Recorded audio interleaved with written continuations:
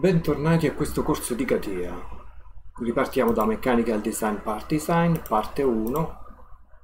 Quello che vogliamo considerare oggi sono gli angoli di sformo. Sul piano orizzontale, come al solito, andiamo a realizzare un rettangolo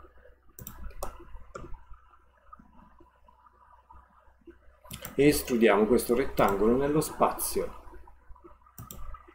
di 100 mm verso l'alto e di 100 mm verso l'alto, basso con un'estensione specchiata e ok. Ecco il nostro solido così definito. Quindi andiamo a considerare adesso il comando angolo di sformo.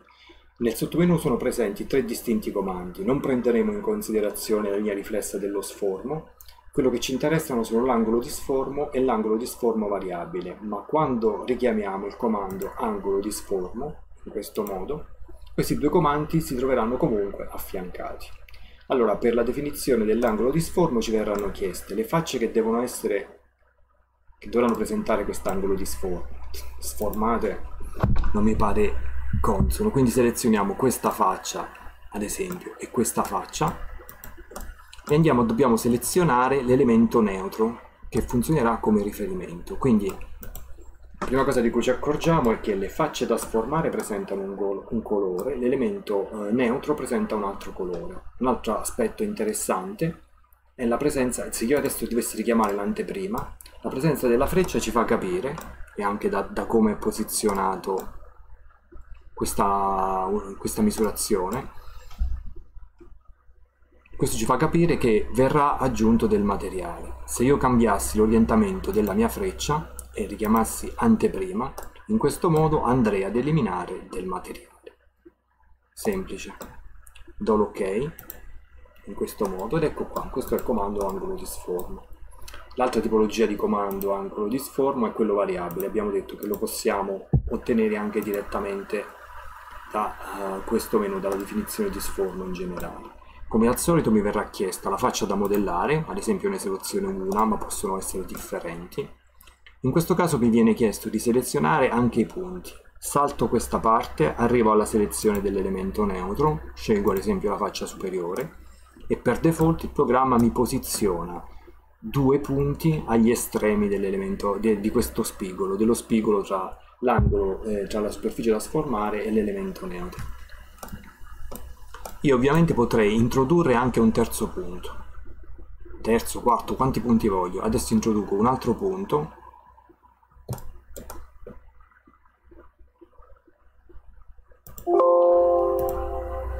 posso sformare una faccia, due elementi, punti.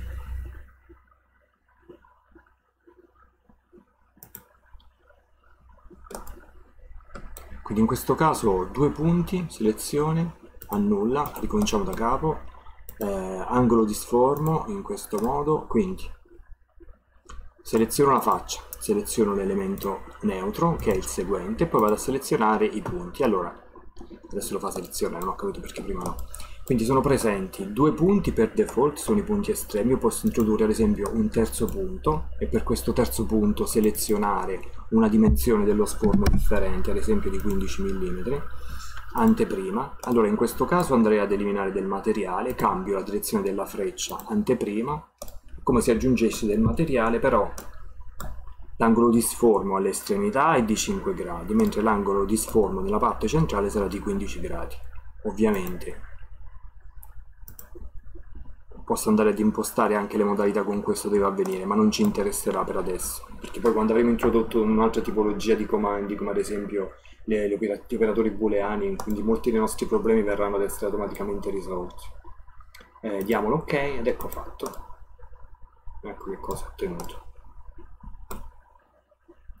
Eh, L'altro comando che consideriamo è il comando svuotamento per la definizione di svuotamento mi verrà chiesto di, vabbè, di, di, specificare degli spessori, quindi mi verrà chiesto di specificare prima di tutto le facce da eliminare, posso scegliere una faccia, ad esempio la seguente, e dare l'ok, e quindi quello che viene ad essere creato è un contenitore praticamente, dall'albero ritorno sull'operazione di guscio, seleziono non una faccia ma ne seleziono ad esempio due e do l'ok, andrei ad ottenere una struttura di questo tipo, lo seleziono nuovamente, potrei variare quelli che sono gli spessori, ad esempio 3 mm e do l'ok e così via.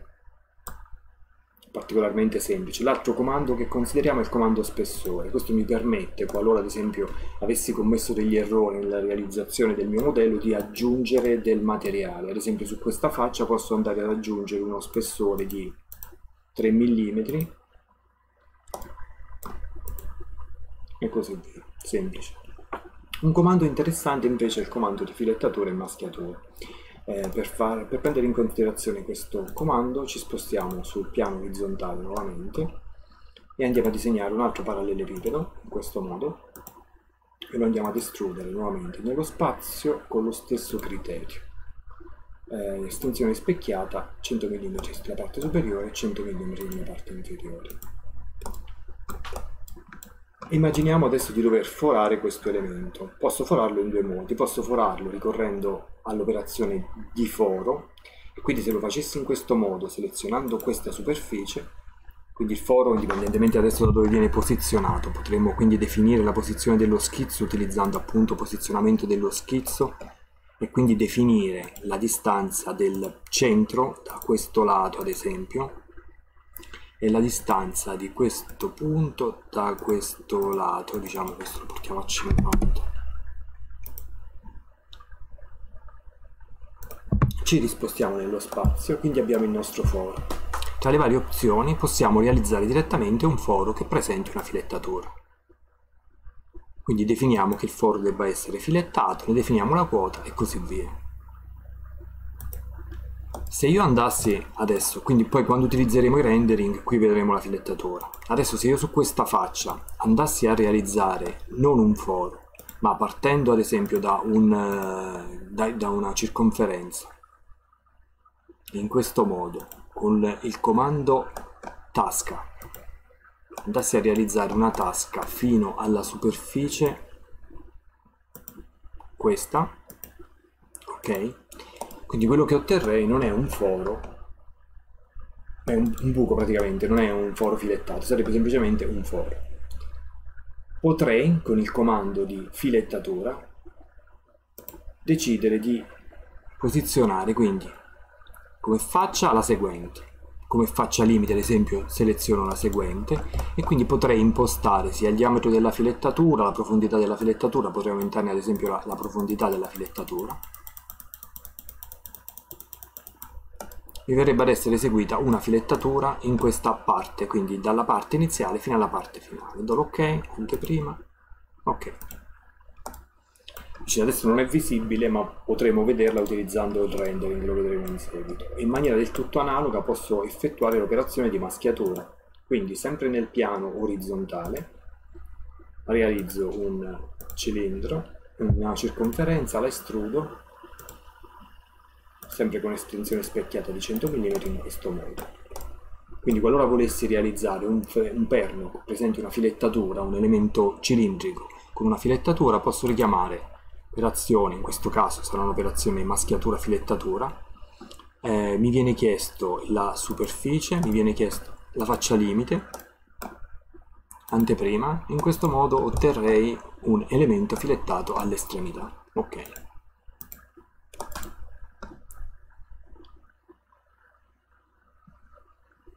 Perfetto.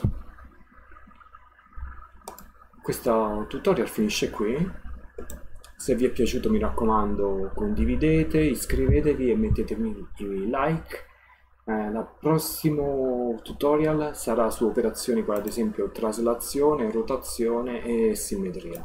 Ci vediamo al prossimo tutorial. Ciao!